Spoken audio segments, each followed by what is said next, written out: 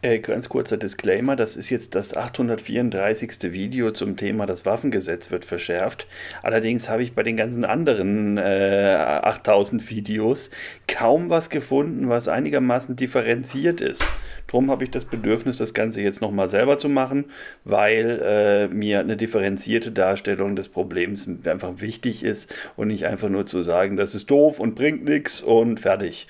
Ja, vielleicht ist es tatsächlich doof und bringt nichts, aber trotzdem, mir ist einfach eine differenzierte Darstellung wichtig. Daher ist noch mein Beitrag obendrauf auf all die anderen Beiträge, die es dazu schon gibt. Äh, und meine Meinung ist vielleicht auch ein bisschen eine andere als die der meisten anderen. So, hallo und herzlich willkommen im Wald. Ich habe extra den positiven Hamster, um ein negatives, äh, auf dem T-Shirt, um ein negatives Thema ein bisschen aufzumuntern und versuche das auch ein wenig lustig zu formulieren. Hier und da vielleicht ein bisschen schwarzhumorig lustig. Ich glaube, da müsst ihr dann durch, wenn euch das dann interessiert. Ich habe nicht allzu viel zu zeigen. Ich habe ein paar Beispielgegenstände mitgebracht, die man da mal vielleicht in die Kamera hin und wieder mal halten kann. Aber viel mehr passiert hier nicht bildmäßig. Äh, nur einfach, damit alle vorgewarnt sind, was sie erwartet und es ist ansonsten jede Menge Geplapper. Ähm, ist mit heißer Nadel gestrickt, darum hocke ich hier auch leider in der akustisch nicht ganz optimalen Zone. Ähm, ich hoffe, man versteht mich trotzdem und die möglicherweise hin und wieder auftretenden Gefähr Verkehrsgeräusche halten sich in Grenzen, beziehungsweise stören euch eben einfach nicht allzu sehr. So, das soweit zum Disclaimer. Worum geht's? Ganz grob gesagt möchte Frau Faeser aus Gründen der Sicherheitsverbesserung, meint sie ähm, zumindest, beziehungsweise das Innenministerium möchte das, ähm, und Niedersachsen möchte das und der Bundesrat möchte das.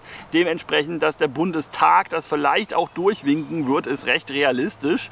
Ähm, nämlich eine Verschärfung des Waffengesetzes hinsichtlich ein paar Aspekten, was Schusswaffen angeht, einem ganz interessanten Aspekt, was die Armbrust angeht und ein bisschen was, was Pfefferspray, da bin ich nicht ganz auf dem Laufenden, was da jetzt genau kommen soll. Aber zumindest bei den Messern, und das wird unser Hauptthema jetzt sein, hat das doch relativ deutliche Auswirkungen äh, im Gegensatz zu dem, was halt vorher gegolten hat. So, und dafür Punkt Nummer eins, ich nenne ein paar Beispiele, die nicht die Messer betreffen. Einfach der Vollständigkeit halber. Nämlich äh, zwei, die ich besonders interessant bzw folgenreich äh, ansehen würde. Nämlich das ist zum einen für die Armbrust, die ist momentan frei ab 18. Das ist eine Waffe, die steht auch so im Waffengesetz als Waffe aufgeführt aber trotzdem frei ab 18 kann sich jeder kaufen, der eine haben möchte und sie bezahlen möchte. Je nach Qualität sind die Dinger saumäßig teuer. Äh, und dann hast du die und dann kannst du damit zumindest mal in deinem Vorgarten rumballern, sofern der dann groß genug ist und du irgendwie sicherstellen kannst, dass du dabei nicht Nachbars Katze erschießt. Und ja, ne, das geht. Man kann, und das ist jetzt diskutabel, theoretisch mit dem Ding sogar rumlaufen, weil eigentlich würde man jetzt meinen, eine Waffe darf man nicht führen. Es gibt aber einen Anhang 2 vom Waffengesetz und da werden Waffen aufgelistet, die nicht vom Führungsverbot betroffen sind. Und zumindest früher, ich habe da jetzt lange nicht mehr reingeguckt, aber früher stand da mal die Armbrust drin. Das heißt, die Armbrust ist eine Waffe, ja, ist frei ab 18, ja, äh, aber äh, und du darfst damit rumlaufen, du darfst sie führen, weil sie extra eine Aus Ausnahmeregelung in Anhang 2, äh, glaube ich, dass es Anhang 2 gewesen ist, Waffengesetz hat. Weiß kaum wer äh, oder wusste damals kaum wer. Keine Ahnung, ob diese äh, Ausnahmeregelung noch besteht. Sie wird auf jeden Fall sicherlich gestrichen werden. Ähm, wobei, das ist noch nicht mal ganz sicher. Was ich aber bezüglich der äh, Armbrust verändern wird, ist, dass sie kleiner Waffenschein pflichtig wird. Momentan braucht man diesen Lappen, den kleinen Waffenschein, den sogenannten, ähm, ja bisher für äh, Schreckschusswaffen, Stück weit, äh, Leuchtkugelschießpatronen, Gaspistole, also Puff, Puff, Puff, Pfefferspray, äh, was denn noch? Ja, ich glaube, das ist es im Wesentlichen. Ah, irgendwelche Pfefferverschussgeräte, wie eine Pistole, die Pfefferwölkchen allein verschießt, ohne jetzt dazu noch einen Peng zu machen, also die Explosion einer Treibladung oder nicht nach einer Anscheinwaffe aussieht. Also so eine Pfefferpistole, die sieht dann halt schön bunt aus, nach einer Laserpistole im Prinzip und verschießt halt Pfefferwölkchen, beziehungsweise Flüssigpfeffer in Form von, ja, wie eine Wasserpistole in Anführungszeichen. Da gibt es verschiedenste Pfefferabschussgeräte auf dem Markt, äh, wird teilweise auch in den Wald mitgenommen. Ich hatte da auch mal irgendwann drüber gesprochen, wurde etwas kontrovers aufgenommen. Persönlich bin kein großer Fan von den Dingern, aber ja, kann man machen, ne? beziehungsweise zumindest ist es bisher legal. Und das soll wahrscheinlich auch in den kleinen Waffenschein aufgenommen werden. Bisher brauchte man den dafür nicht, sondern nur für die äh, im Prinzip richtige Pistole mit dem Unterschied, dass halt nur die Patrone explodiert, ohne eine Kugel durch den Lauf zu treiben, weil der Lauf so blockiert ist, dass man keine Kugel durchtreiben kann. Äh, eine Schreckschusswaffe muss auch so baulich hergestellt sein, dass man sie auch nicht einfach zur normalen Waffe umrüsten kann, indem man da einfach so ein kleines Teilchen rausschraubt und dann ist es eine normale Waffe ne? Zumindest theoretisch. Ist alles super verworren, super kompliziert geworden. Ähm, das fiel bisher, wie gesagt, unter einen kleinen Waffenschein. Inzwischen fällt, na, also soll künftig ganz vieles unter den kleinen Waffenschein fallen, darunter auch die Armbrust. So, warum ist das interessant? Naja, weil den kleinen Waffenschein halt wirklich nicht unbedingt zwingend wirklich jeder, jeder bekommt. Jeder, sagen wir mal, rechtschaffene Bürger ohne Vorstrafe und Mitgliedschaft in irgendwelchen verfassungswidrigen Organisationen, der sollte das Ding bekommen. Ja? Problemlos. Wenn du hingegen Mitglied in verfassungsfeindlichen Organisationen bist oder äh, Vorstrafen hast, dann kriegst du so ein Ding halt eben nicht, weil man dir dann eben nicht zutraut, mit gefährlichen Gegenständen hochoffiziell rumrennen zu dürfen. Ja? Ähm, das ist so ein bisschen Stand der äh, Dinge und äh, da wäre die Armbrust dann halt drin aufgenommen. Also unabhängig davon, ob man die jetzt nun führen darf oder nicht, dürfte man sie dann in jedem Fall sowieso nur noch, wenn überhaupt, führen mit dem kleinen Waffenschein, der dann zum Führen einer Armbrust berechtigen würde. Ja, kann man sich jetzt drüber aufregen? Oder auch nicht. Das hängt jetzt davon ab, ob man Interesse daran hat, mit einer Armbrust rumzurennen oder nicht. Würde ich persönlich behaupten. Gut, wie auch immer. Äh, oder ob man grundsätzlich gegen jedes Gesetz ist, das irgendwas einschränkt, äh, das man bisher gedurft hat. Das, das ist ja auch eine Möglichkeit, ja? dass man politisch grundsätzlich Verbote blöd findet und jedes Verbot, egal gegen was, grundsätzlich ablehnt. Und der zweite Punkt, der könnte auch relativ gravierend sein und sorgt offensichtlich auch für Zündstoff äh, in besonderen Kreisen, nämlich die, die es betrifft man braucht für, den, äh, Waffen, für die Waffenbesitzkarte, also die richtige Waffenbesitzkarte, die zum daheim Aufbewahren einer Schusswaffe, äh, Gewehr, Pistole etc. Ähm, berechtigt. Dafür braucht man bisher die persönliche Eignung. Ja? Das heißt, mal abgesehen davon, dass du eine Sachkundeprüfung machen musst, einen Bedarf nachweisen musst, äh, gegebenenfalls einen Jagdschein gemacht haben musst, wenn der Weg des Jägers für dich interessant ist, musst du auch die persönliche Eignung haben. Das heißt, bisher wird fünf Jahre lang deine Vergangenheit durchleuchtet von den Behörden, die äh, eine Waffenbesitzkarte ausstellen. Und die gucken, hast du einem kleinen Kind den Lutscher geklaut? Wenn ja, wie oft? Wenn es zu oft war, kriegst du keine Waffenbesitzkarte. Na, ganz so ist es nicht. Vor allen Dingen Vorstrafen sind relevant. Äh, es sind zum Teil auch Verfahren, die eingestellt wurden, relevant. Zumindest kann das so sein. Da gibt es Gerichtsurteile, wo das mal eine Rolle gespielt hat. Ähm, und du darfst nicht Mitglied in irgendeiner verfassungswidrigen Organisation sein, wie beim kleinen Waffenschein im Prinzip aus. Auch. So, und zumindest für die Waffenbesitzkarte sollen die Anforderungen an die persönliche Eignung für die Waffenbesitzkarte jetzt dahingehend geändert werden, dass auch schon die Mitgliedschaft in einem rechtsextremen, sprich verfassungsfeindlichen Verdachtsfall, Verein, Verband, Partei, äh, ausreicht, um die persönliche Eignung erlöschen zu lassen. Bedeutet, jeder Jäger, äh, zumindest zeitweilig, ich weiß nicht, ob die AfD momentan als Bundes-AfD noch ein rechtsextremer Verdachtsfall ist. Ich meine ja, oder haben sie mal dagegen geklagt? Ist das schon end endgültig entschieden? Keine Ahnung, sie waren es ja zumindest mal. Äh, und diverse Landesverbände sind ja erwiesen rechtsextrem, juristisch zumindest. Ne? Ähm, ich würde sagen auch sonst. Aber ähm, das bedeutet, dass Mitglieder dieser Partei mindestens in den entsprechenden Landesverbänden, vielleicht aber auch der Bundes-AfD, damit keine Waffe mehr besitzen dürfen. Ja? Also jeder Jäger und Sportschütze in der AfD wird entwaffnet sozusagen, wenn das dann so durchkommt. Ja, das kann man jetzt gut finden. Es ist in jedem Fall allerdings so, dass diejenigen, die es betrifft, es natürlich schlecht finden werden. Hm? Das ist ja logisch und nachvollziehbar. Gut, aber das waren jetzt nur so zwei Sachen, die theoretisch für ordentlich Zündstoff sorgen, einfach um mal ein bisschen erklärt zu haben, wo da eigentlich jetzt die, die, die, die Dringlichkeit und die energische Diskussion herkommt, wie schlimm das wäre, jetzt das Waffengesetz zu verschärfen. Vielleicht sind diese beiden angesprochenen Punkte da noch wesentliche, wesentliche Eckpunkte, die vielleicht das Ganze weiter verschärfen, denke ich mal. Ähm, mich persönlich, und ich denke die allermeisten von uns betrifft beides nicht, weil Schusswaffe brauche ich nicht, äh, kleinen Waffenschein, pff, wenn ich den jetzt bräuchte, um ein bisschen ein größeres Messer führen zu können, dann würde ich den beantragen. Ne? Äh, den würde ich dann auch kriegen, soweit ich weiß. Es sei denn, ich habe irgendwelche Dinge angestellt, von denen ich selber nichts weiß. Ähm, aber ja, ja, aber Armbrust brauche ich jetzt auch nicht. Also ich habe so eine ganz winzig kleine, so eine ganz kleine Piu Piu, ja, also Spielzeug, also wirklich nur Spielzeug keine Ahnung, muss ich die dann abgeben? Wahrscheinlich schon. Ne? Eigentlich, also wenn es jetzt nicht eine Einschränkung gibt, dass winzig kleine lächerlich Armbrüste ähm, nicht ausgenommen sind, müsste ich die dann eigentlich abgeben oder mir einen kleinen Waffenschein besorgen, um das Ding behalten zu dürfen. Ja? Äh, daher betrifft es mich, was das angeht, dann schon irgendwie persönlich. Gut, da das Ding Spielzeug ist, würde ich es auch abgeben. Äh, tut mir so viel weh. Ja, ich habe die ewig nicht benutzt und ja, dann habe ich sie halt nicht mehr. Das, war nicht teuer.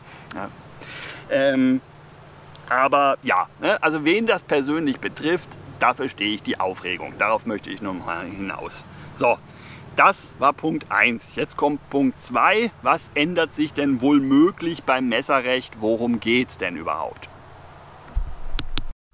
So, und da wir jetzt nicht das ganze Messerrecht nochmal äh, durchgehen wollen, ganz grob vereinfacht gesagt, gibt es zwei Sorten von Messer. Ne? Grob, ganz grob. Ich weiß, ihr wisst das alle genauer und werden Sie das 38 Mal in die Kommentare schreiben. Wer es da genauer wissen möchte, kann es da sicher 38 Mal nachlesen. Mit Sicherheit. Dürft ihr auch gerne schreiben, der Algorithmus freut sich. Ne? Nicht, dass ich mich da beklagen möchte. Aber grob gibt es Klappmesser und es gibt feststehende Messer. Ne? Also die haben keinen Klappmechanismus.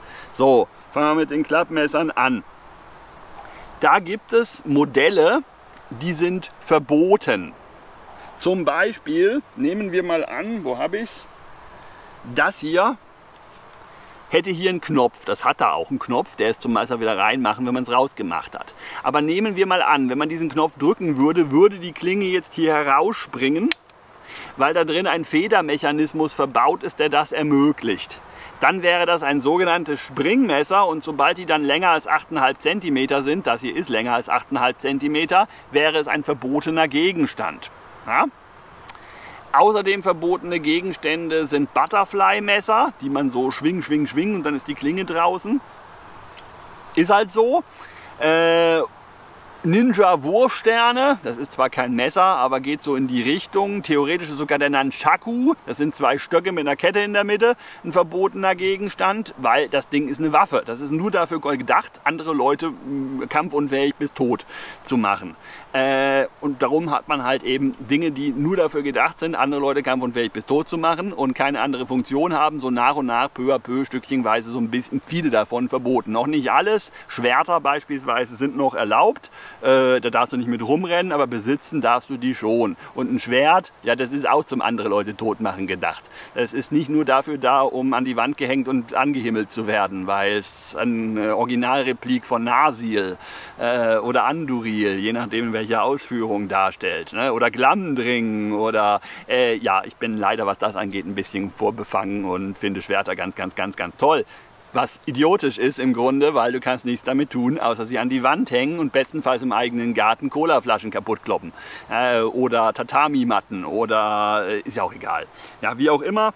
Jedenfalls, Springmesser wären verbotener Gegenstand. Wie gesagt, Ninja-Wurfsterne auch und so weiter und so weiter.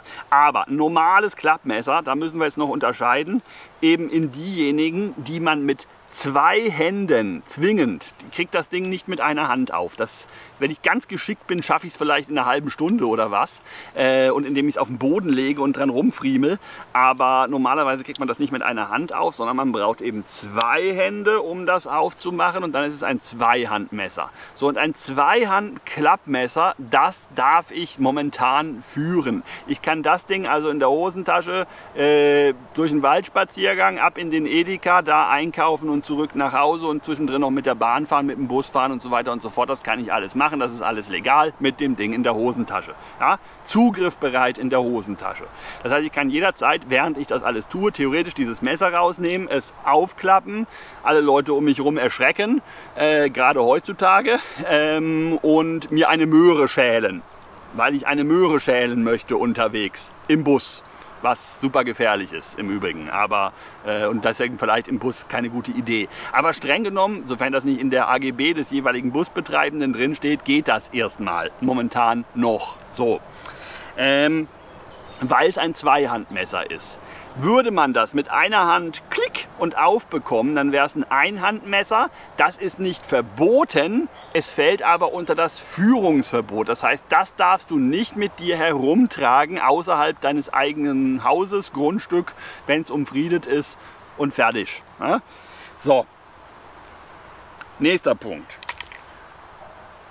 Feststehendes Messer ohne Klappmechanismus. Da gibt es eine Beschränkung. Äh, da eigentlich praxisrelevant sind zwei. Ist es ein Kampfmesser? Ist es vom Design und von der Struktur dieses einzelnen Messermodells darauf ausgelegt, jemanden abzustechen? Ja? Dann ist es ein Kampfmesser, ist dafür konzipiert, eine Waffe zu sein, zählt damit als Waffe und mit einer Waffe darfst du nicht rumrennen. Deswegen darfst du auch mit dem Schwert nicht rumrennen oder mit, äh, äh, keine Ahnung, wenn du nicht einen kleinen Waffenschein hast, mit einer Airsoft-Pistole rumrennen. Wobei Airsoft, weiß ich nicht, ist Airsoft das gleiche wie eine Schreckschusspistole? Ich habe keine Ahnung von dem Zeug. Ja, ist auch egal. Ähm, jedenfalls, wenn das Ding unter 12 cm ist, darfst du es führen. Wenn es länger als 12 cm ist, darfst du es nicht führen. Verboten ist es in keinem Fall. Also ein beliebiges feststehendes Messer, auch wenn es ein Kampfmesser ist, dann äh, ist es nicht verboten, aber du darfst es nicht führen. Also auch ein kurzes Kampfmesser wäre nicht führbar. Ein langes Kampfmesser sowieso nicht, weil jedes Messer, das mehr als 12 cm Klingenlänge hat, darf halt eben nicht geführt werden. So, Fun Fact, der auch viel diskutiert wurde unter meinem letzten Video, ein Küchenmesser ist ein feststehendes Messer, so ein langes Fleischermesser, ne, so ein Ding, ähm, das mehr als 12 cm Klingenlänge hat. Damit darfst du nicht rumrennen, das darfst du nicht führen, nicht zugriffbereit mit dir führen, während du dich außerhalb deines Grundstückes äh, bewegst. Wie kann man so ein Messer denn dann überhaupt im nächsten Supermarkt einkaufen und mit nach Hause nehmen?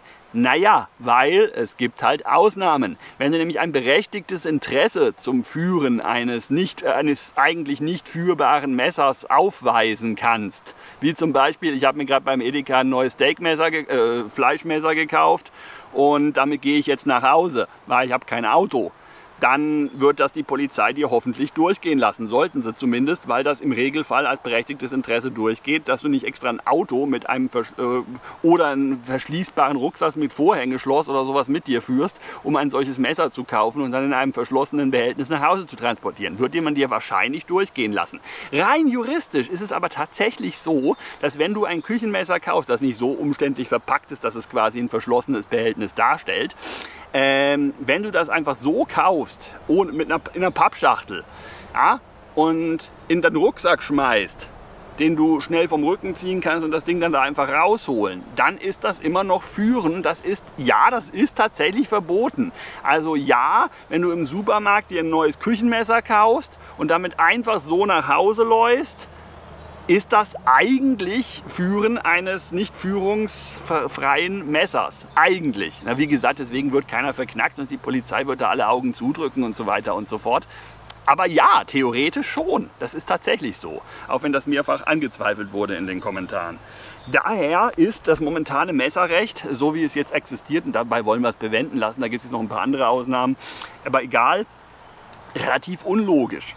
Denn vom Führungsverbot befreit bist du dann, wenn du ein berechtigtes Interesse vorweisen kannst, weshalb du halt doch ein Messer mit dir rumschleifst, das unter das Führungsverbot fällt. Also nehmen wir an, das hier sei ein Messer, das ist eine Säge, äh, dann könnte ich dieses Messer trotzdem führen, wenn ich nachweisen kann, wofür ich dieses Messer jetzt unbedingt gerade brauche, da wo ich mich gerade befinde. Sprich, ein Messer, das äh, unter anderem so eine Säge aufweist, im Walde dabei zu haben, selbst wenn die Klinge zu lang wäre, was sie ja nicht ist, ähm, oder ein Einhandmesser wäre, dann könnte man noch damit argumentieren, dass man ja die Säge braucht, weil man sich da hinten einen Ast absägen möchte, weil man den braucht für ein Bastelprojekt, das man hobbymäßig bei sich daheim jetzt dann gleich umsetzen möchte.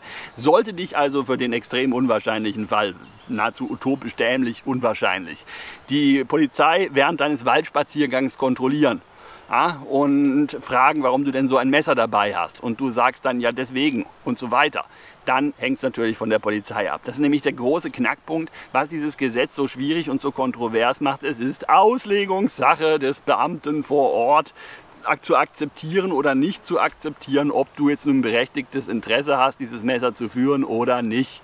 Ja, äh, wenn du als Hobby Bushcraft, Pfadfinderei oder ähnliches hast, dann sollte das eigentlich ein berechtigtes Interesse sein, ein jetzt nicht maßlos übertriebenes, aber ein bisschen größeres Messer zum Holzbearbeiten in den Wald mitzunehmen. Ja. Denn Du kannst es ja im verschlossenen Behältnis, sprich ein Rucksack, irgendeiner, an dessen Öffnungsmechanismus, in meinem Fall wäre das hier ne, diese Kordel, wenn ich diese Kordel hier irgendwie blockieren würde mit einem Zahlenschloss hier dran, ja, äh, dann wäre das ein verschließbarer Rucksack und ich müsste ihn verschlossen halten, solange ich da ein illegales Messer, also ein nicht führungsbereites Messer äh, drin hätte. Ein illegales Messer dürfte ich ja eh nicht besitzen. Und dann wäre es in Ordnung. Und dann laufe ich mit dem Messer im verschlossenen Behältnis dahin, wo ich an meinem Ast rumschnitzen möchte, mache mein verschlossenes Behältnis auf, habe jetzt in dem Moment, wo ich am Ast rumschnitzen möchte, ein berechtigtes Interesse am Ast herumzuschnitzen, schnitze am Ast rum, packe mein Messer wieder in mein verschlossenes Behältnis, gehe damit wieder nach Hause. Ist das umständlich? Ja. Ist das im ersten Moment bescheuert? Ja. Verhindert das, dass man spontan ein Messer ziehen kann, um jemanden zu erstechen? Solange man das wirklich so macht, ja. Aber der wesentliche Knackpunkt ist natürlich, dass jemand, der äh, potenziell ein Messer ziehen würde, um jemanden zu erstechen, halt sich an so was ja auch, auch garantiert wahrscheinlich super unwahrscheinlich, also wäre extrem unwahrscheinlich, dass der sich daran hält. Ja? Damit machst du eigentlich quasi die Leute, die bereit sind, sich an Gesetze zu halten, äh, denen machst du das Leben schwer und diejenigen, die bereit sind, Gesetze zu brechen und gewalttätig zu werden, die interessiert es nicht. Und das ist so ein wesentliches Gegenargument, äh, warum das keinen großen Sinn ergibt. Na? So, jetzt muss ich mal den Akku wechseln und dann äh, es weiter. So, was mich beim bestehenden, jetzt ohne die Änderung jetzt erstmal, beim bestehenden Waffenmessergesetz, ne? also es gibt kein Messergesetz, aber wir nennen es ja so einfach aus der Einfachkeit halber, so nervt, ist die Logiklücke dabei. Ne? Denn das hier, wenn schnell zu öffnen wäre, dürfte ich nicht führen. Warum darf ich es denn nicht führen, wenn es schnell zu öffnen wäre? Weil ich es dann aus der Hosentasche ziehe, in der Bewegung hoch schon aufklappen könnte, ne, einhändig, und hätte es dann sofort bereit, um es jemanden irgendwo hinzustechen, wo es ein Messer nicht hingehört. Ja?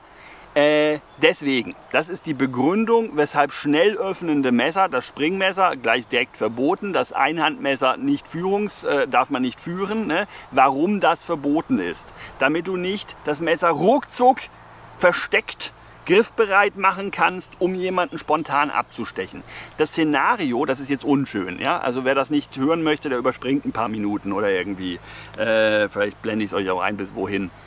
Ähm, das Fiese bei einem Messer, was das zu einer wirklich hundsgemeinen und für denjenigen, der jemandem Schaden zufügen möchte, effizienten hocheffizienten Waffe macht, ist, dass das was Kleines ist, was du versteckt mit dir rumtragen kannst, was man dir nicht ansieht, dass du es mit dir rumträgst und doch in der Lage ist, massive Schäden ohne großen Krafteinsatz, ohne großes Ausholen, ohne großes mit einem Zweihänder der Massenvernichtung wedeln, äh, unangekündigt jemanden, der damit nicht rechnet, spontan zufügen zu können. Ja? Da musst du natürlich schwer gestörter Psychopath sein, um das machen zu wollen, aber es geht. Rein technisch geht das. Soll heißen, ich ziehe jetzt, ich laufe in der Fußgängerzone neben irgendwem her, hinter irgendwem eng, auf dem Weihnachtsmarkt. Es ist alles eng. Ja? Ich ziehe jetzt so ein Messer hier raus, zack, mach das einhändig von mir aus auch geöffnet oder zweihändig, scheißegal im Grunde. Ne?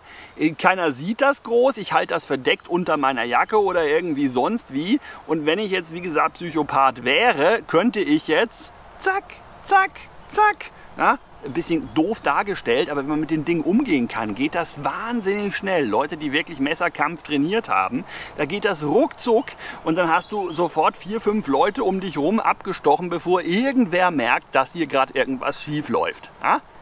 So. Warum ist, wo ist jetzt die große Unlogik? Ja, mit einem Einhandmesser wäre das ein verbotener, äh, in diesen Situationen soweit nicht mitführungsberechtigter, verbotener quasi Gegenstand. Ja, damit hätten wir also quasi dadurch, dass wir verboten haben, dass ein Einmesser, Einhandmesser mitgeführt werden darf, verhindert, dass sowas, äh, so eine Situation passiert. Nee, weil es geht auch mit einem Zweihandmesser, verdammt nochmal. Ja, das geht auch. Das geht eine Millisekunde länger, wenn überhaupt. Ja, und ist damit völlig hirnrissig dass die Millisekunde, die du sparst mit einem Einhandmesser, jetzt da sinnvoll sein soll, um zu verhindern, dass das passiert. Da, da sehe ich überhaupt nicht die Logik dahinter. Völlig Hirnebü äh, hanebüchender Blödsinn. Noch schlimmer bei den feststehenden Klingen. Ja? Denn das hier ist jetzt nicht das aller, aller, aller, aller dollste Messer, um jemanden abzustechen. Gehen tut es aber definitiv. So. Ja? Und das darfst du, weil es nur 11,5 cm Klingenlänge hat, derzeit auch verdeckt führen. Das heißt, du bindest dir hier zum Beispiel irgend so einen Gurt über die Brust. Hängst hier dieses Messer dran. Von mir aus auch äh, super fancy umgekehrt, ja, dass es so nach unten zeigt. Ja, und jetzt läufst du damit in der Gegend rum, machst unter der aufklaffenden Jacke, die du dir gerade aufreißt, hier einmal diesen, zack, und bohrst das jemanden im dämlichsten Fall in den Hals. Äh, das wäre legal. Na, nicht die Tat an sich, aber das Führen des Messers in einer nur offensichtlich als Messerstecher äh, relevanten Trageweise. Ja, das braucht kein Mensch, wenn er nicht Messerstecher sein möchte. Ähm, von mir aus noch zur Selbstverteidigung gegen Wildschwein was auch bescheuert ist. Ne? Da bist du mit Pfefferspray, wenn überhaupt irgendwas zur Selbstverteidigung gegen Wildschwein. Ich meine, da ist nichts notwendig. Habe ich aber lang und breit an anderer Stelle ausgeführt. Ähm, wie auch immer, aber selbst wenn man was dabei haben möchte, dann bitte ein Pfefferspray und nicht versuchen, das Wildschwein mit dem Messer das überlebst. Überlebst du vielleicht, aber nicht in einem Zustand, in dem du dich befinden möchtest. Wie auch immer, so mit dem Messer rumzurennen, in der offensichtlichen Absicht, das jederzeit ziehen zu können und damit Schwachsinn anzustellen, das ist legal. Ja? Also wer auch immer, de Maizière unter anderem, de Maizière oder wie auch immer man den ausspricht, äh, Thomas de Maizière, der dafür verantwortlich war, unter anderem diese erste Verschärfung des Waffengesetzes, des Messergesetzes durchzuwinken, völlig an der Praxis vorbei, völlig irrelevant und sinnlos und ein 12 cm Messer ist für eine Messerstecherei vollkommen ausreichend. Ein 11,5 cm Messer auch. Ein 8 cm Messer immer noch. Ein 6 cm Messer hingegen, da kann man sich jetzt wirklich fragen, ne? ähm, ob das hier von der Klingenlänge her, das sind sieben. Da unten dieses Stück, das macht es zu sieben. Also die Eindringtiefe. Gemessen wird immer die Eindringtiefe. Wenn du jemanden erstechen würdest, wie weit dringt das Messer ein? Schneide mag nur sechs Zentimeter haben, aber dieses letzte Stückchen, das rutscht dann durch den Schnitt, den man verursacht hat, auch noch mit rein. Ja, das heißt, du hättest sieben Zentimeter Eindringtiefe. Äh, reicht das, um jemanden ins Herz zu stechen? Ja. Reicht das zum machen? Ja. Ähm, Reicht das zum Pneumothorax, Lunge durchbohren? Ja, absolut. Reichen da 4 cm? Na klar. Ja, reichen 4 cm ins Herz? Ja, vielleicht, wenn man sich auskennt. Ähm, kann man damit noch schwere Schäden anrichten. In der Theorie. Jetzt ist ein Schweizer Taschenmesser wirklich das beschissenste Kampfmesser, das man sich vorstellen kann, wenn du damit rumfuchtelst und du äh, stößt gegen jemanden in diese Richtung, weil es ist ja nicht zweischneidig, dann klappt sich's ein, schneidet die erstmal in die Finger und dann hast du auch nichts davon, weil dein Gegner nach Möglichkeit sogar noch unverletzt ist oder nur wenig verletzt und dann haut er dich hoffentlich um. Hast du verdient. Ähm, und prügelt dich windelweich mindestens. Hast du auch verdient. Äh, kann man sich streiten, was du noch alles verdient hättest. Im Rahmen der Notwehr wäre so ziemlich alles erlaubt. Aber sobald der ein Messer hat, ist das einzig Sinnvolle, was du als Breitensportler, Kampfsportler äh, machen kannst. Und selbst als absoluter Profi wärst du schön blöd, wenn du was anderes machst, äh, ist wegrennen. Weil so ein scheiß Messer die Angriffsfähigkeit eines, deines Gegenübers massiv verbessert. Ja, massiv. Du kommst dann nicht ohne massive Schnitte an den Unterarmen, an den Händen oder sonst irgendwie aus dem Kampf raus. Und es geht so schnell, dass du das Ding im Bauch stecken hast, wenn du eine Bewegung falsch machst. Ja, greift er dich mit Händen und Füßen an. Dann kriegst du halt mal einen kleinen schmächtigen Schlag in den Bauch, das macht dir überhaupt nichts. Speck absorbiert. Ja? Äh, du bekommst einen kleineren Schlag an den Kopf, dann bist du vielleicht mal ein kleines bisschen benommen. Wenn du Glück hast, erholst du dich schnell genug wieder, um zurückzuhauen und gewinnst dann immer noch. Ja? Etc. Aber jeder noch so kleine Fehler deinerseits führt zu einer wahnsinnig gefährlichen und dich in jedem Fall kampfunfähig machenden Verletzung. Und da reicht eine Klingenlänge von dem Ding hier schon aus. Vielleicht nicht die hier an dem, aber, aber sobald das eine feststehende Klinge ist, ne? Opinel Nummer 8, 8 cm Klingenlänge, die übrigens in der geschwungenen Variante ist auch egal. Das hier ist schon brandgefährlich als, als potenzielles Angriffsmesser. Ja, das ist das Schnitzmesser vor dem Herrn. Und niemand würde jemals auf die Idee kommen, hoffe ich, ein Opinel als Waffe anzusehen. Dafür sind die hinten und vorne nicht gedacht. Die sind auch viel zu dünn, würden wahrscheinlich abbrechen beim Kontakt mit einer Rippe. Aber dann hast du schon Kontakt mit einer Rippe gehabt. Ja, das äh, möchte der Besitzer der Rippe nicht. Und das sind eine hundsgemeine Angelegenheit. Messerkämpfe. Wirklich super, super gefährlich. Super gefährlich.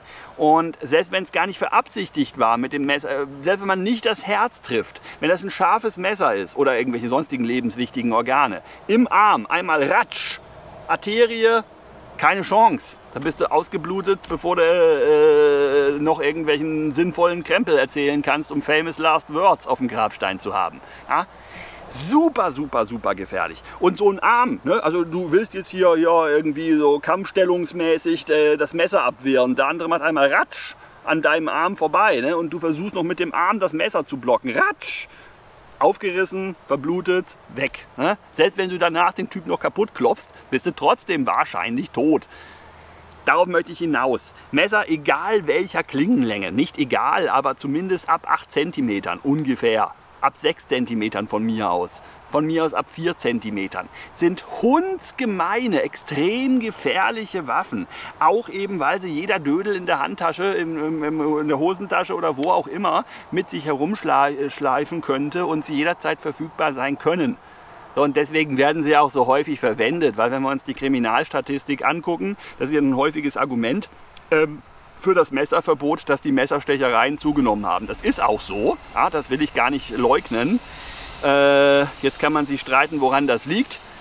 Es wird eine Rolle spielen, das ist auch wahrscheinlich ziemlich sicher so, dass eben ein gewisser Anteil von meistens nicht unbedingt bleibeberechtigten Asylbewerbern da eine gewisse Rolle spielt. Jetzt bin ich überhaupt kein Fan davon, denen sämtliches Elend der Welt in die Schuhe schieben zu wollen, aber das ist wohl schon eine Tatsache, dass das hier mit eine Rolle spielt. Der generelle äh, Zunahme der, der, Gewaltbereitschaft in der Bevölkerung, die haben wir auch. Die haben wir auch bei äh, ähm, Leuten, die ähm, blaue Augen und blonde Haare haben und äh, Kategorie A äh, Aria gewesen wären in einer unrühmlichen Periode in der Vergangenheit. Ne? Mit entsprechend tollem Stammbaum, wo nie irgendwelche Ausländer drin gelandet sind.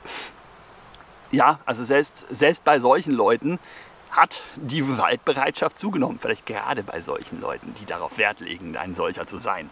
Na, wie auch immer, jedenfalls. Ähm, das ist allgemein so. Ja, das spielt mit eine Rolle, dass es äh, Asylbewerber gibt. Ich sage jetzt absichtlich Asylbewerber, die mit Bleibeperspektive sind deutlich weniger häufig in Straftaten verwickelt. Ähm, aber das ist jetzt erstmal so. Ja? Und jetzt ist halt eben die Frage, kann man durch das Verbieten potenziell gefährlicher Messer, beziehungsweise das Reduzieren, das ist nämlich das, was diskutiert wird, das habe ich noch gar nicht gesagt. Was eben äh, im Wesentlichen im Messergesetz geändert werden soll, ist, dass die Messer, die man mitführen darf, nur noch 6 cm Klingenlänge haben dürfen. Nochmal, das hier hat 8. Ne? Das wäre also schon raus. Äh, das Schweizer Taschenmesser wäre raus, weil es eine Eindringtiefe von 7 hat, wenn auch nur 6 Klinge. Und das einzige Messer, das ich besitze, das dann noch legal wäre, also ich habe noch ein paar von dieser Sorte, aber ähm, wäre sowas. Ne? So, und Vorteil, theoretisch, ja, wenn wir das Messergesetz jetzt dahingehend verändern, dass die einzigen äh, oder die Regierung das entsprechend verändert, dass nur noch sowas oder geringfügig Größeres als sowas, von mir aus auch ein bisschen breiter, das einzige ist, was man an Schneidware und äh, gefährlicher Klingenwaffe in der Öffentlichkeit noch mit sich rumtragen darf, ja, dann wäre zumindest, und das äh, finde ich dahingehend gut, weil mir Logik wichtig ist, die völlig hanebüchende Schwachsinnsidee, dass ein 12 cm Messer äh, ungefährlicher sein soll als ein 17 cm Messer, ähm, das wäre dann ausgebügelt. Ja, damit wäre dann wirklich auf eine tatsächlich relativ ungefährliche Messergröße die Klingenlänge begrenzt und das legale Messer wäre wirklich relativ ungefährlich. Relativ. Auch noch immer nicht ganz. Aber man überlegt sich vielleicht psychologisch als Angreifer mit einem Messer doch mehr, ob man jetzt mit einem 6 cm Zahnstocherchen, äh, in Anführungszeichen, ne, äh, auf sein Gegenüber losgehen möchte oder ob man das mit einem 20, Meter, 20 cm halben Kurzschwert äh, irgendwie bewerkstelligen will. Es ist ja grundsätzlich auch so, muss man wissen, wenn man sich ein bisschen mit historischen Blankwaffen auseinandersetzt, je länger die Waffe, desto populärer, beziehungsweise in der Praxis war eine lange Waffe häufig angenehmer und einfacher und überlebenssichernder zu führen als eine kurze Waffe, weil je kürzer deine Waffe, desto näher musst du an den Gegner ran, desto eher trifft der dich mit was auch immer der als Waffe hat. Daher die beliebteste und effizienteste, äh, na, überhaupt noch halbwegs Nahkampfwaffe äh, in der Militärgeschichte der Vergangenheit, also Leute, die sich professionell andere Leute umgebracht haben im Nahkampf, äh, ist der Speer. Hm? Warum wohl? Ja, weil man damit eine schön lange Reichweite hat. Im besten Fall kannst du also dein Gegenüber abstechen, bevor es dir überhaupt nur nahe kommt mit einem Schwert. Man denkt ja immer, Schwert wäre ja ach so toll. Das war so eine, ein Statussymbol sicherlich. Natürlich kann man auch mit dem Schwert kämpfen, auch mindestens für Duelle oder äh, ja, Rapier-Duelle, wie man sie dann später gehabt hat, Pistolenduelle und solche Späße, Fechten. Ne? Äh, das geht alles, aber als Kriegswaffe, Speer, helle Bade, als es helle Bade gab und danach nur noch Schusswaffen. So, ich habe das jetzt mal noch ein bisschen zusammengefasst. Ähm, also grundsätzlich sind 6 cm schon immer noch gefährlich. Ja? Da kannst du immer noch viel Schaden mit anrichten. Aber die Psychologie des Messerkampfs, wie gerade gesagt, äh, ein großes Messer in der Hand zu haben, macht aus einem kleinen Wicht, der sonst nicht auf die Idee kommen würde, wen anders anzugreifen, wohl möglich einen kleinen Wicht, der jetzt ein großes Messer in der Hand hat und sich super vor, toll vorkommt. Hat er nur ein kleines Messer in der Hand, kommt er sich ein bisschen weniger toll vor. Ne? Das spielt meiner Meinung nach schon eine gewisse Rolle, äh, zumal es einfach keine mächtige Waffe zu sein scheint, so ein kleines Messerchen. Ist mal davon abgesehen, dass der noch theoretisch auch ein größeres Messer mitnehmen könnte. Ne? Das haben wir an anderer Stelle schon kurz erwähnt, wird auch nachher nochmal erwähnt. Aber theoretisch, ne, wenn er jetzt, äh, wenn sich jemand mit dem Mitführen eines legalen 6 cm Messers jetzt dafür entscheidet, jetzt durchzudrehen und eine Messerstecherei anfangen zu wollen, aus so einer Sichtweise heraus, weil für alle anderen, die das von vornherein geplant haben, ist das ja sowieso nicht relevant. Ne?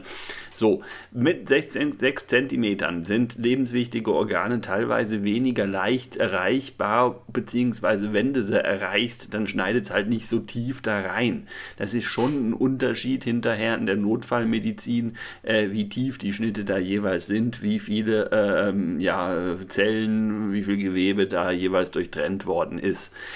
Vor allen Dingen geringe Schnitt Tiefe ist dann interessant, wenn zum Beispiel Winterkleidung getragen wird, die, die jetzt keinen dollen, aber doch zumindest ein bisschen Schutz darstellt, wo dann ein Messerstich bestimmt eindringt, äh, aber eben dann halt wirklich nicht so tief in den Körper. Da kann das also durchaus so ein bisschen zu eher oberflächlichen Schnittwunden, nur in Anführungszeichen oberflächlichen Schnittwunden kommen kann. Äh, ist trotzdem immer noch gefährlich, insbesondere wenn dann auf den Hals oder ähnliches gegangen wird, dann, dann ist auch vorbei. Ja? Das würde aber auch mit einer 4 cm Klinge funktionieren, wenn es sein sollte, äh, wenn da jemand weiß, was er tut.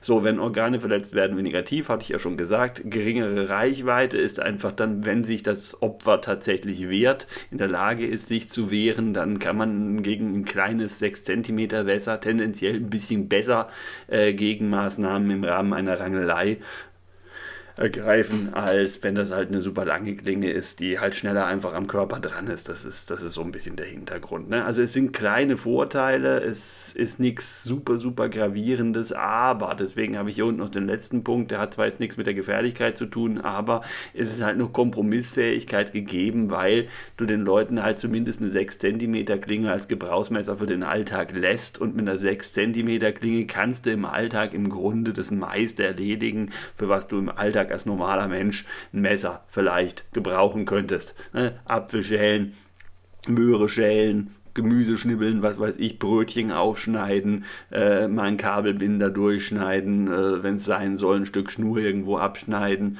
äh, furchtbar verworrene äh, Schnürsenkel aufmachen, ich weiß es nicht. Aber ja, das ist, das ist so zumindest die Idee. Ne? Nur einfach, damit wir das nochmal angesprochen haben. Da dürft ihr mir auch gerne widersprechen, wenn ihr das grundsätzlich anders seht. Nehmen wir mal an, du stopfst ein Messer kurz bevor man es dir ins Auge rammt ja, dann ist es natürlich schon relevant, ob das, was du stoppen kannst, kurz vor deinem Auge 6 cm hat und noch nicht ins Auge eindringt oder 18 und auf der anderen Seite vom Kopf schon wieder, naja. Ja, äh, ihr wisst, worauf ich hinaus möchte. Also, logisch betrachtet wäre das eine Verschärfung, die logisch betrachtet, angenommen man hält sich wirklich dran und hat keine größeren Messer dabei, irgendwo Sinn ergibt. Aber also soweit kann ich es verstehen. Aber, und jetzt das ganz große, große, große Aber. Es gibt den schönen Satz, alles was ein Mensch erzählt vor einem Aber, kannst du wieder vergessen. vor einem großen Aber. Ja, so weit würde ich nicht gehen. Ich hoffe zumindest, äh, dass ihr das jetzt nicht sofort wieder völlig vergesst. Äh, das große Aber liegt einfach daran, dass derjenige, der bereit ist, einen Messerkampf zu planen und vorzuhaben, ein Messer dabei zu haben, um damit jemanden abzustechen. Er bildet sich vielleicht ein in Verteidigung. Ja, ändert im Regelfall nicht allzu viel äh, dran, wenn die Verteidigung auf oh, du stinkst, oh, Messer, tot. Ist das nicht wirklich zielführend? Es, äh, die Gewalt Eskalationsspirale jedenfalls wird davon nicht unbedingt positiv beeinflusst. Äh, wenn alle eine Waffe mit sich rumschleppen und meinen, sie sei nur zur Verteidigung, siehe USA. USA ist tatsächlich ein schönes Beispiel. Die haben natürlich erheblich mehr äh, Gewaltverbrechen pro Einwohner als zum Beispiel wir.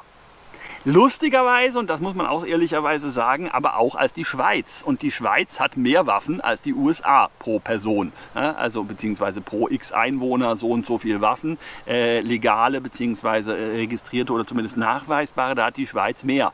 Man muss allerdings dazu sagen, bevor man jetzt die Schweiz als Beispiel nimmt, warum klappt das da? Weil die alle so neutral sind und keine Emotionen haben. Auch. Spaß. Die Schweiz fällt ein bisschen aus der Statistik, weil ihr seht hier von statista.de ähm, die Schusswaffen Fälle, Todesfälle durch Schusswaffen in der Schweiz von ja, 95 bis 2022.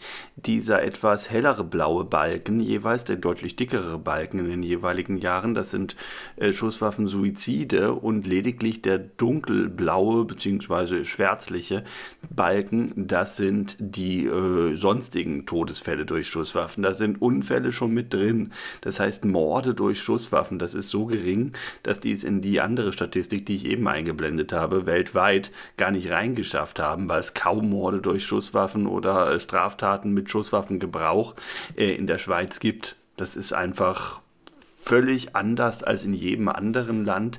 Äh, woran das liegt, vielleicht wirklich an der Schweizer Mentalität, die Kompromisssuche, die äh, völlige Nichtneigung zum Extremismus. Es gibt ja auch sonst kaum irgendwelche Fälle, wo jemand äh, durch extreme Taten in der Schweiz aufgefallen wäre. Es ist, ist ein weltweiter Ausreißer, statistisch gesehen, wissenschaftlich gesehen. Ne?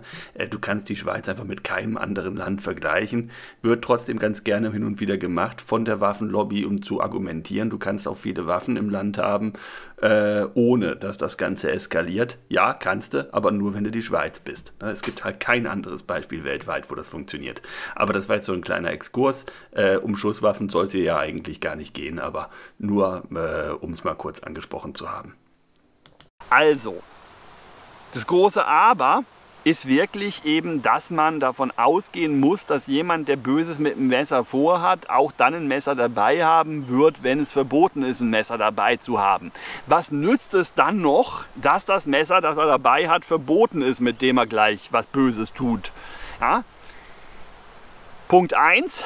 Sollte er in eine Polizeikontrolle geraten mit einem illegalen Messer, mit dem er Böses vorhat, ist in der Polizeikontrolle gleich klar, dass er damit Böses vorhat oder zumindest, dass es generell verboten ist, auch wenn er damit nichts Böses vorhat und der ist es los. Dann hat er keins mehr und dann muss er erstmal wieder nach Hause gehen und das nächste Messer holen, bevor er damit wieder potenziell Böses tun kann.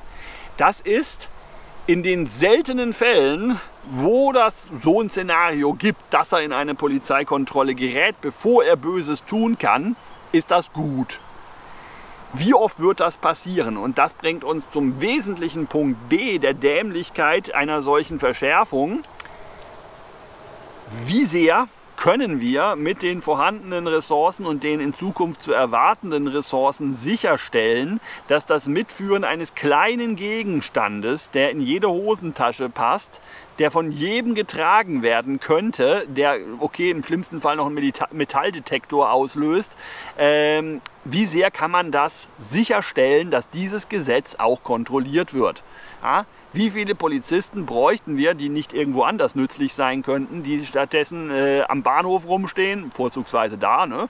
Äh, oder am Waldeingang noch dämlicher, ne? einen Polizisten dafür abzustellen, dass er am Waldeingang rumsteht und äh, Leute, die den Waldeingang benutzen und nicht wissen, dass der da steht und 300 Meter weiter einfach irgendwo zwischen den Bäumen durchschleichen, ja, äh, der dann Leute kontrolliert, ob sie nicht möglicherweise mit einem illegalen Messer in den Wald möchten. Und nächste Frage, was wollen sie denn mit dem illegalen Messer im Wald für einen Schaden anrichten? Der berühmte Axtmörder existiert nur in der Fantasie von Leuten, die nachts im Wald große Angst haben.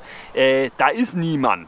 Ja, und wenn du jemanden ermorden willst, dann gehst du nicht nachts in den Wald, weil dann bist du die ganze Nacht alleine und hast niemanden, den du ermorden kannst. Da gehst du bestenfalls vielleicht gerade noch so in den Stadtpark oder sowas in die Richtung. Ja? Vermute ich. Also nicht, dass ich Erfahrung damit habe. Ja, also ihr wisst, wie es gemeint ist. Aber es ist Unsinn. Es ist nicht durchsetzbar. Und ich bin ein grundsätzlicher Gegner von Reglementierungen aus Prinzip die man nicht umsetzen kann. Du kannst dann eine Straftat verhindern, wenn du den Typen mit dem Messer erwischt, bevor er die Straftat begeht. Wie wahrscheinlich ist das? Und ich halte das für extrem, extrem unwahrscheinlich. Und die paar Fälle im Jahr, bei denen das hilft, äh, dass das jetzt so ist, dass man dem dann vorher das Messer abnehmen kann. Wenn das drei, vier Fälle im Jahr sind, ich habe gar keine Ahnung, weiß ich nicht.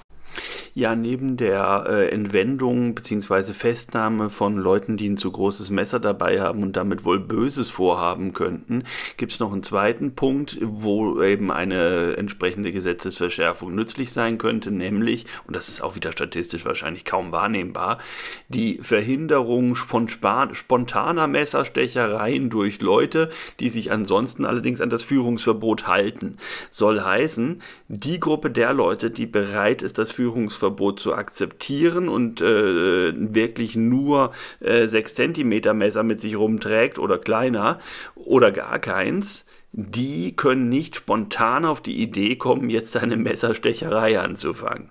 Ja, hm, wie oft wird das vorkommen? Vielleicht drei, vier Fälle pro Jahr, wenn überhaupt. Äh, wahrscheinlich sogar noch weniger, keine Ahnung, bin ich kein Experte für Kriminalstatistik, aber die Chance, dass das passiert, ist doch sehr, sehr, sehr, sehr gering.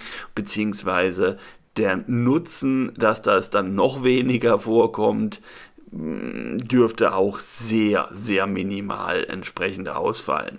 Aber ja, es ist noch ein zusätzliches Argument, das ich einfach genannt haben möchte, weil es existiert, wenn auch nicht besonders schlagkräftig. Ne? Aber die paar Fälle, die müssen wir jetzt halt gegenrechnen mit, dem, mit der Genervtheit bzw. mit dem Stress und äh, der schlechten Laune und der Einschränkungen im alltäglichen Leben von allen anderen Personen, die eben auch kein Messer mehr mitführen können, obwohl sie damit niemals was Böses getan hätten. Was natürlich äh, von uns, achten, äh, wie viele sind wir? 86, 84 Millionen Deutsche, äh, wahrscheinlich 84 äh, Millionen Deutsche ausmacht, so in etwa.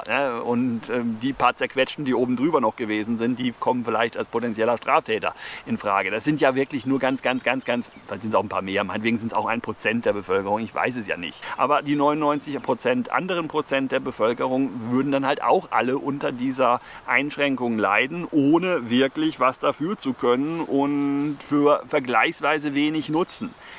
So, und jetzt müssen wir halt als Gesellschaft, beziehungsweise unser Bundestag muss das, weil wir ja keine direkte Demokratie haben, muss jetzt halt irgendwie entscheiden, ob die Einschränkung des alltäglichen Lebens von allen es wert ist, eine kleine Zahl an potenziell zu vereitelnden Messerstechereien äh, zu haben, die dann auch wirklich vereitelt wurden. Ja?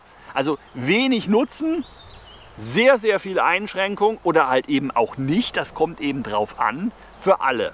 So, und in welchem Verhältnis steht das jetzt? Und wie, wie ich gerade sagte, es kommt eben drauf an. Jemand, der ohnehin nicht mit dem Messer rumrennt, dem wird das scheißegal sein, dass er jetzt nicht mit dem Messer rumrennen darf.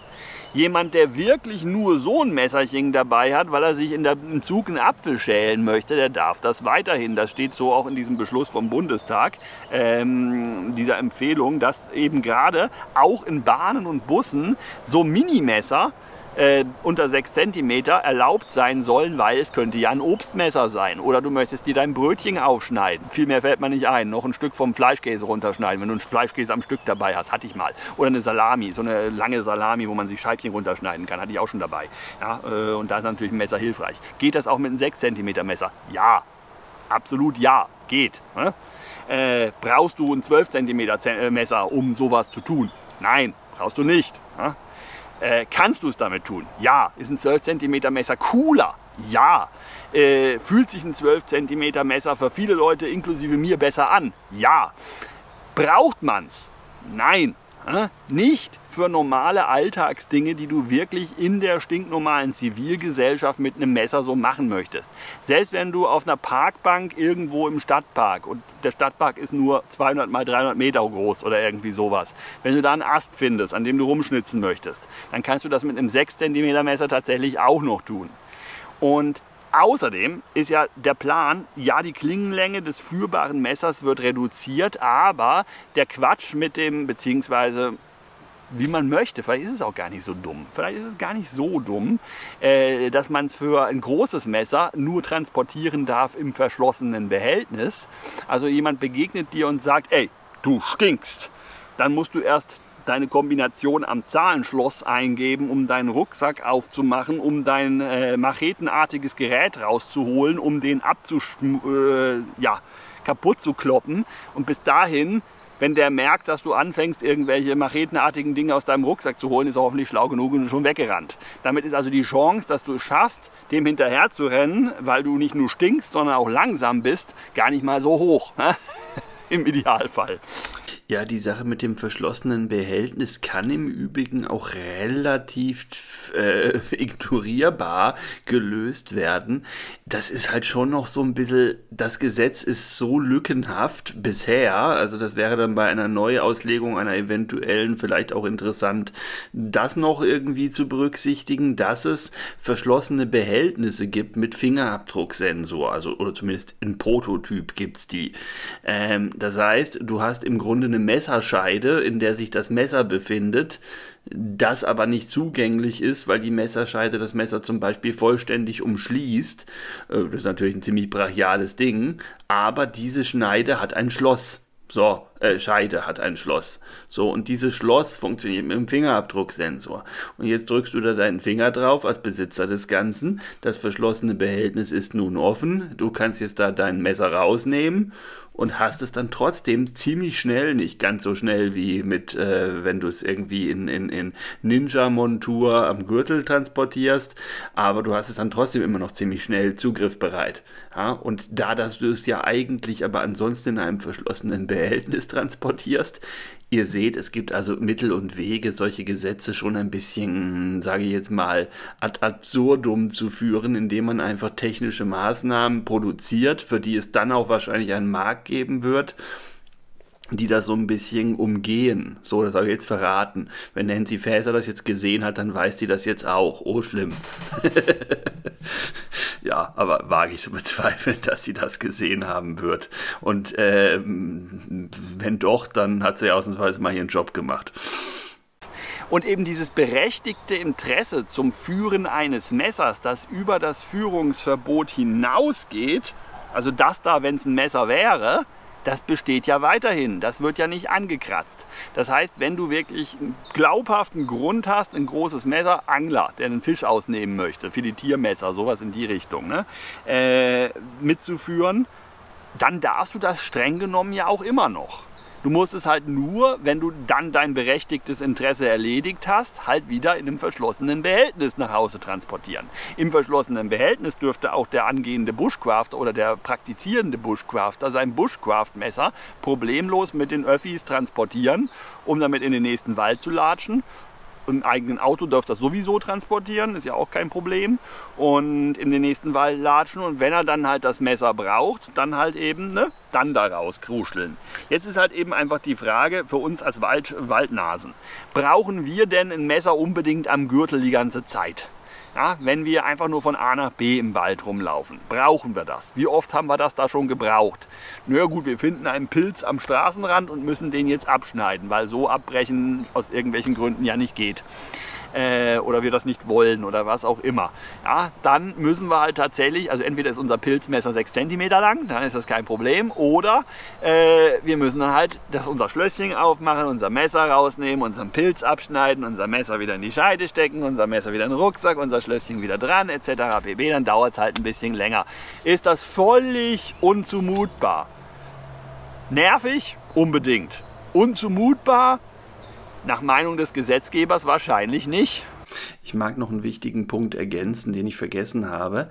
Was ist denn mit dem Messer zu Selbstverteidigungszwecken? Also wirklich legitime Selbstverteidigung, dass man niemals vorhätte, irgendjemanden damit zu verletzen, der einen nicht prinzipiell angreift oder man nimmt es mit im Wolfsgebiet zum Beispiel, um sich gegen einen Wolf verteidigen zu können, wenn der Wolf angreift.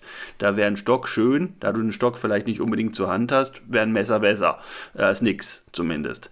Ähm, aber ja, was ist mit sowas? Ist das ein legitimes Interesse? Interesse. Ich persönlich würde sagen, wahrscheinlich irgendwie schon, sofern du dann halt irgendwo unterwegs bist, wo es wilde Tiere gibt, ist es legitim, ein Messer mitzuführen, um sich gegen andere Menschen zu verteidigen. Naja, das ist jetzt halt eben dann der große Knackpunkt, dass wir da nicht wissen, will sich da jemand einfach nur im Fall der Fälle verteidigen möchten, wollen, weil er bereit sein möchte für halt eben einen Fall der Fälle und ist ansonsten total harmlos, oder das kann ja dann jeder sagen. Ne? Das heißt, auch ein potenzieller Straftäter könnte dann ja, also jemand, der es auch direkt vorhat, wirklich da jetzt zum, zum Klaus zu gehen und den Klaus abzustechen, der könnte ja trotzdem, wenn er von der Polizei vorher kontrolliert wird, sagen, ja, ich habe das nur zu Verteidigungszwecken dabei und schwuppdiwupp ist das Messer legal. Also mit dem Argument, wenn man das zulassen würde, wären ja sämtliche Messerverbote quasi hinfällig. Und daher ist es juristisch gesehen hm, wahrscheinlich kein gutes Argument, beziehungsweise wird nicht passieren, dass ein Messer, das zu Verteidigungszwecken geführt wird, akzeptiert wird. Das ist bisher auch nicht so. Also wenn du jetzt ein 17, 18 Zentimeter mit dir, Messer mit dir rumschleppst und sagst, das ist zur Verteidigung, daher hast du ein besonderes Bedürfnis, dieses Messer zu führen, dann wird das nicht akzeptiert werden. Also der Grund zur Verteidigung äh, ist generell kein Grund, äh, kein akzeptierter allgemeiner Grund, um ein Messer führen zu dürfen, das länger als 12 cm ist, aktuell. Ja, das wird in Zukunft garantiert auch weiterhin so sein.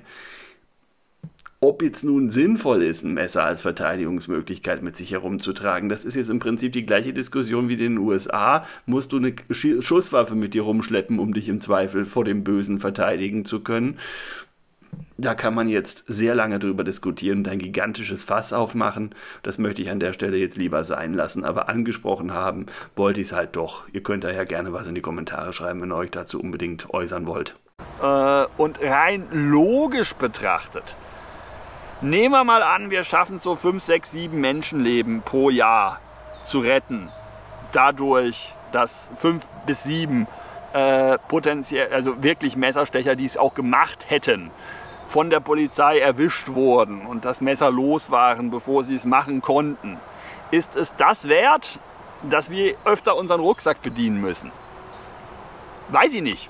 Na, müsst ihr wissen. Mal sich jeder seine eigene Meinung zu machen, beziehungsweise ich weiß es schon. Ich persönlich würde tatsächlich sagen, ja, wäre mir egal. Ja, wäre mir egal. Ich würde mir ein bisschen Zähne knirschen und ich würde ein bisschen äh, äh, Einsicht, widerspenstige Einsicht, aber Einsicht und genervte Einsicht, aber Einsicht. Sowas in die Richtung. Ja, das ist so ähnlich, wie dass du halt eben keine Beeren im Nationalpark pflücken darfst, auch nicht, wenn sie direkt am Wegesrand wachsen und sie theoretisch es völlig egal wäre, wenn du die jetzt pflückst. Also du darfst es eigentlich nicht. Und ich mach's dann nicht wegen Einsicht, genervter und äh, Einsicht, aber irgendwie halt schon Einsicht, weil äh, zumindest der klassische Deutsche ne, äh, ähm, dazu neigt, Gesetze halt einfach aus Prinzip einzuhalten. Ja, oder zumindest viele Vorschriften aus Prinzip einzuhalten. Und dieses Prinzip, dass das wirksam ist, spüre ich zumindest auch bei mir und da bin ich sicherlich nicht ganz alleine mit. Überhaupt nicht. Ne? Und irgendwas wird sich der Gesetzgeber dabei meistens schon gedacht haben. Und im konkreten Fall hat man sich auch ein bisschen was dabei gedacht. Ja, bringt's viel? Nein. Bringt's ein bisschen was? Äh, vielleicht schon, ja. Also wirklich nur ein ganz kleines bisschen. Aber wir reden hier ja tatsächlich von, weiß ich nicht, fünf bis sieben Toten möglicherweise oder Schwerverletzten weniger pro Jahr. Ja, das ist schon was. Also rein empathietechnisch ist das sogar sehr viel statistisch, einfach als reine Zahl, wir haben jetzt 2700, keine Ahnung, ich weiß die genaue Zahl nicht, äh, Messeropfer und danach haben wir noch 2693 Messeropfer. Macht die Sau nicht fett, könnte man sagen. Ja, für die drei Leute, die aber jetzt nicht tot sind, ist es vielleicht schon relevant. Schwierig, ja, schwierig. Wirklich, wirklich schwierig. So, äh, der Vollständigkeit halber, neben der Verkürzung der Klingenlänge ist außerdem noch geplant, äh, Springmesser komplett zu verbieten und irgendwas anderes. Ah ja, Dolche. Dolche, die auch nur die Funktion haben, jemanden abzustechen oder gegebenenfalls noch als Brieföffner zu taugen, äh, die sollen auch vollständig verboten werden. Begründung, niemand muss einen Dolch besitzen. Was willst du damit? Die einzige Funktion von den Dingen ist Leute abstechen. Warum wirst du sowas haben? Das gefällt mir nicht. Warum nicht? Weil dann könnte auch jemand auf die Idee kommen, Schwerter generell als verbotenen Gegenstand einzuordnen und dann müsste ich meins abgeben und da hätte ich auch gar keine Lust zu. Äh, persönlicher Trotz. Ne? Brauche ich ein Schwert? Nein. Hat das irgendeine Funktion? Nein. Also man kann damit theoretisch Dinge im Garten hacken, die man aber anderweitig erheblich effizienter hacken könnte. Ne? Also die, die Machart und der, die Funktion, das, was derjenige, der ein Schwert geschmiedet hat, dabei im Sinn hatte, war eine Waffe zum Abschlachten bzw. Töten, äh, Verstümmeln oder zumindest schwer verletzen von anderen Menschen. Sowas musst du als normaler Zivilist eigentlich logisch betrachtet nicht daheim rumliegen haben. Leider sind Schwerter auch scheiße ästhetisch ja, und irgendwie faszinierend und wurden in Historie wie aktuell in Fantasy-Literatur äh, und historischer Literatur und so weiter und so fort äh, irgendwie zu einem Sehnsuchtsgegenstand herangezüchtet. Vermutlich hatten wir auch schon immer seit Menschengedenken eine gewisse Faszination für Waffen, zumindest einige, die männlichen unter uns, manche Frauen sicher auch, aber größtenteils die männlichen unter uns. Ohne jetzt was Böses damit vorzuhaben, hat eine Waffe eine gewisse Ästhetik, eine gewisse Faszination. Das kann daran liegen, dass sie aus jedem Lulatsch äh, plötzlich einen super gefährlichen Endzeitkrieger macht. Also gibst du jemandem, der nichts kann, eine Schusswaffe unterrichtest ihn zwei Wochen in der Verwendung der Schusswaffe, ist der Typ plötzlich super brandgefährlich für alle anderen, die keine Schusswaffe haben. Ami-Prinzip, ne? Hast du keine Waffe, der andere hat vielleicht eine, musst du auch also eine haben, damit alle eine haben und dann können die Guten auf die Bösen zurückschießen wie gut das immer geklärt ist, wer die Guten und die Bösen sind. Ne? Das ist so mein großes Problem mit, äh, mit der Ami-Methode. Ja, wie auch immer, schwierig. Ja? Schwierig. Dolche, die daheim rumliegen zu haben. Dass jemand Dolche sammelt und eine kleine Sammlung von Dolchen hat. Wie oft ist es denn vorgekommen, dass bei einem Messerangriff jemand mal mit einem Dolch, der offensichtlich eine Waffe, eine zur Waffe konzipierter Dolch äh, war, verwundet wurde. Und da können, müssten wir jetzt halt wirklich, da wäre es schön, wenn es eine Statistik gäbe. Gibt es nicht. Es gibt bestenfalls eine Statistik Messerangriffe und auch die ist ziemlich löcherig. Ähm, es gibt aber keine Differenzierung, was das für Messer gewesen sind. Und zumindest wissen wir aus vielen Regionen der Erde, wo es das ein bisschen gibt, so ein bisschen, äh, dass das ganz häufig Küchenmesser gewesen sind. Weil immer verfügbar, insbesondere für den äh, wesentlichen Anteil an, an Straftaten, die sogenannte Beziehungstaten sind. Also sprich, die Frau nervt, äh, was ganz grauenvoll ist, wenn man sich das vorstellt dass äh, man in trauter Zweisamkeit zusammenlebte und sich dann so weit auseinanderlebt und das Ganze so weit eskaliert, dass es zu Gewalt kommen muss, ist für mich furchtbar traurig. Furchtbar, furchtbar traurig. Schreckliche Vorstellung. Aber nichtsdestotrotz, äh, Beziehungstaten sind sehr, sehr relevant statistisch und da sind es Küchenmesser, weil die sind verfügbar. Ja? Also da eskaliert's und äh, der Streit kocht hoch und dann hat man ein Küchenmesser zur Hand da brauchst du nicht äh, das Kampfmesser 3000. Völlig unnötig. Muss gar nicht sein. Und das ist eben auch der wesentliche Punkt. Sind halt eben zum Töten konzipierte Messer. Die paar, die es da gibt. Die paar Leute, die sowas unbedingt haben wollen. Ist es das den Aufwand wert? Ist es das wert, den Leuten, die das einfach haben, weil sie es cool finden, wegzunehmen, für den sehr geringen bis hin zu gar nicht nachweisbaren Nutzen, äh, den das jetzt dann hat für die allgemeine Sicherheit.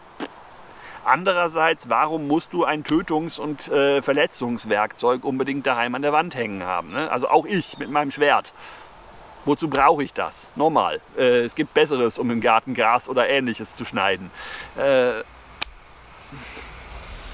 ja, logisches Argument gibt es dafür nicht, außer die sind halt hübsch. Das Ding ist halt cool. Ja? Fertig. Das war's. Ja? Und äh, du kannst noch sagen, ein Mann muss tun, was ein Mann tun muss. Und äh, sammle, was rar ist. Und esse, was gar ist. Hoffentlich. Ja, alle möglichen an den Haaren herbeigezogenen Argumente wirklich logisch begründen kann man das nicht wirklich. Ne? Wenn du nichts Böses vorhast, wozu brauchst du dann Waffen? Um dich zu verteidigen vor denjenigen, die Böses vorhaben woher weiß jetzt derjenige, der sieht, dass du Waffen hast, ob du der bist, der Böses vorhast oder der, der verteidigen möchte, falls jemand anders Böses vorhat. Und was muss passieren, dass du durchdrehst, obwohl du ursprünglich der Verteidiger sein wolltest, dass du jetzt zum Angreifer wirst? Das ist nämlich in der Geschichte auch schon ein paar Mal vorgekommen. Bis hin zu sehr, sehr, sehr, sehr, sehr oft. Bei so ziemlich jedem, der nämlich eine Waffensammlung oder zumindest ein paar davon äh, daheim rumliegen hatte und dann irgendwann durchgedreht ist, war bestimmt ursprünglich der ursprüngliche Gedanke, dass er sich das Zeug nicht zulegt, um damit irgendwann mal durchzudrehen, um dann alle abzumurksen. Vielleicht doch. Und vielleicht ist dann der andere Waffensammler, den man persönlich kennt, ja auch so einer, ein potenzieller. Ja, das wissen wir ja immer jeweils nicht. Und das macht die Sache ja halt eben super, super schwierig. Ja?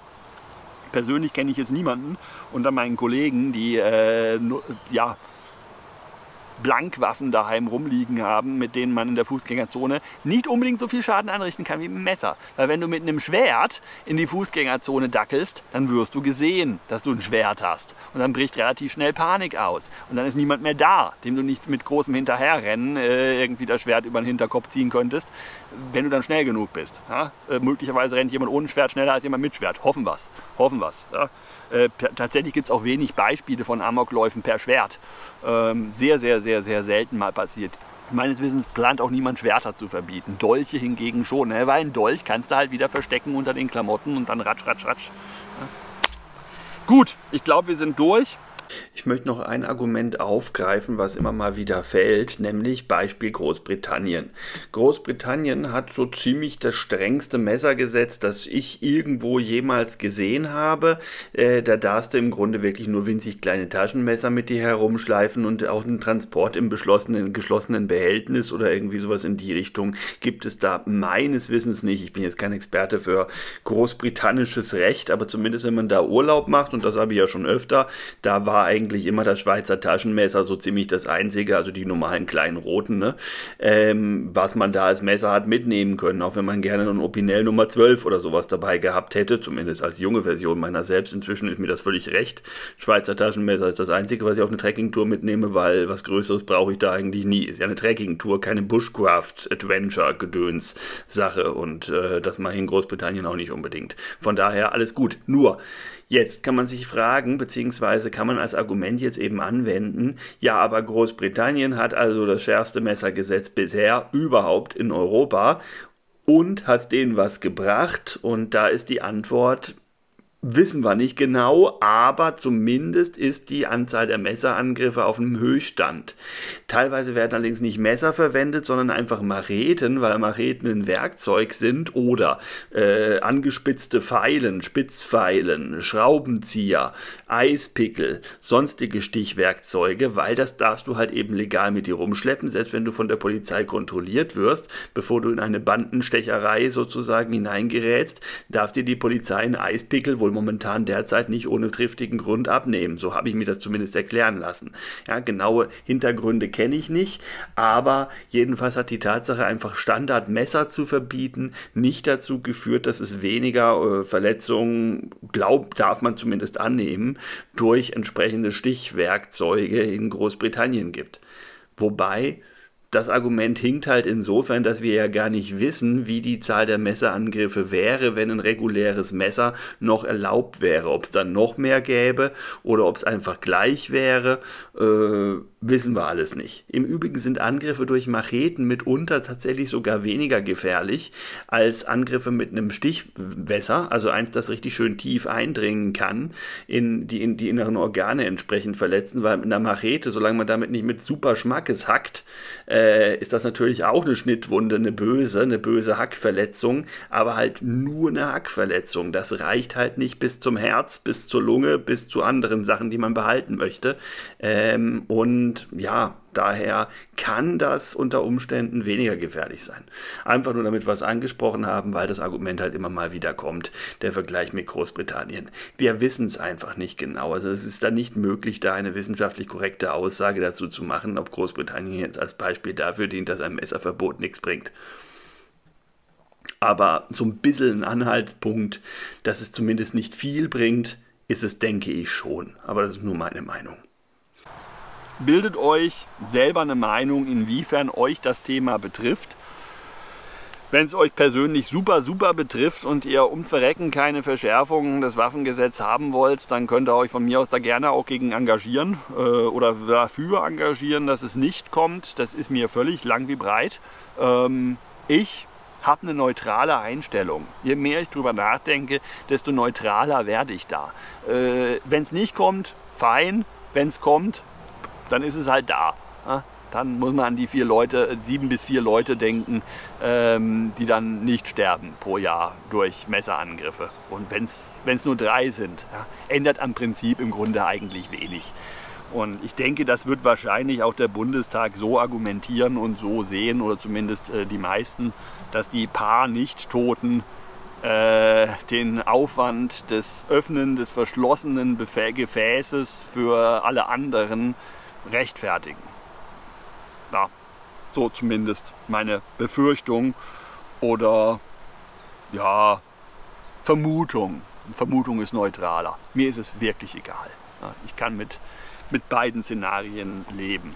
Und dass die völlig unlogische Messergesetzgebung, die wir heute haben, dann ein bisschen, ein bisschen mehr Sinn ergibt, naja, das tröstet, würde mich dann trösten, wenn ich mit meinem verschlossenen Behältnis irgendwann am, das nervt, äh, mich aufregen bin. Klar ist es dann noch ein bisschen fies, aber das ist ja heute auch schon so, dass eben keiner so genau weiß, was ein berechtigtes Interesse zum Führen eines übertrieben langen Messers ist. Äh, es gibt aber kaum Fälle, wo jemand wirklich mal beim Führen, soweit ich weiß, ich kenne persönlich kenne ich gar keinen. Äh, wenn ihr da was wisst, schreibt es mir bitte gerne in die Kommentare, das wäre echt extrem hilfreich. Wenn jemand mal beim Führen eines äh, potenziell äh, führungsverbotenen Messers mal erwischt wurde und eigentlich meint, er hätte ein berechtigtes Interesse, gibt es da Fälle, wo das nicht der Fall war. Kennt ihr da irgendwas? Weil ich kenne nichts wo das jemals passiert wäre. Schon gar nicht im Wald beim auf Holz rumhacken oder ähnlichem. Ja. Zumal ja sowieso diverse Aktivitäten im Wald, die mit großem auf Holz einherhacken, äh, dahergehen, sowieso illegal sind oder zumindest ordnungswidrig. Illegal selten, ordnungswidrig sehr schnell, sehr schnell. Man kann äh, in der rechtlichen Grauzone Buschkraft betreiben. Da kann man auch ein bisschen was machen aber man kommt sehr schnell äh, ins, ins, ins Rote, ja, wo es nicht mehr grau wird, also wo es klar äh, ordnungswidrig ist. Ne? Also von daher macht die Sau nicht mehr fett, wenn da jetzt noch ein zu großes Messer dazu kommt. Wohl möglich. Ja.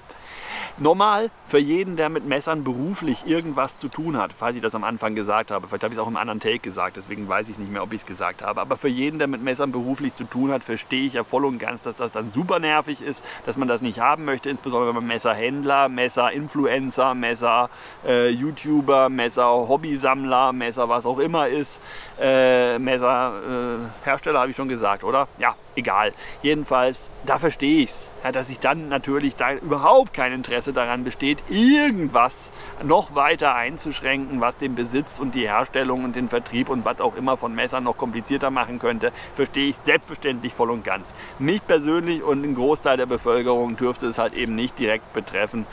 Und ich glaube wirklich, dass es der Mehrheit der Bevölkerung schlicht und ergreifend scheißegal sein wird. Weil so hoch ist die Zahl der Leute, die Messer mit sich führen, ohne Böses damit vorzuhaben, halt eben auch wieder nicht. So, jetzt war es das aber. Ich glaube, habe alle Argumente drin. Wenn nicht, meine irgendwo eine Voice-Over-Ergänzung. Macht's gut und denkt an den Hamster. Der Hamster ist klein und putzig. Eigentlich so klein sind Feldhamster gar nicht, aber putzig in jedem Fall. Und dann wird alles wieder gut und wir bräuchten alle mehr Hamster. Äh, erstens in Deutschland, die sind nämlich vom Aussterben bedroht. Äh, und zweitens in unserem Leben. Dann wäre alles viel putziger.